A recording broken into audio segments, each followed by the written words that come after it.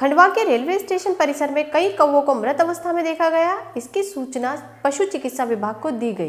सूचना मिलने के बाद विभागीय टीम स्टेशन परिसर में पहुँची और मृत कौवों को पीपीई किट पहनकर उठाया गया। इनमें, इनके विस्तृत जाँच के लिए भोपाल भेजा जाएगा। आपको बता दें, खंडवा शहर के रेलवे स्टेशन क्षेत्र में बड़ी संख्या में घने पेड़ हैं। इन पेड़ों पर अनगिनत पक्षियों का बसेरा रहता है। रोज़ाना यहाँ पक्षियों की मौत हो रही है।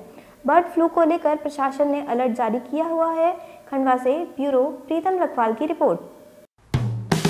हेलो फ्रेंड्स आप देख रहे हैं हमारा channel S W twenty four news हमारे सारे वीडियो सबसे पहले देखने के लिए आप हमारे चैनल को सब्सक्राइब करें और पास में लगे बेल आइकोन को दबाना बिल्कुल भी ना भूलें।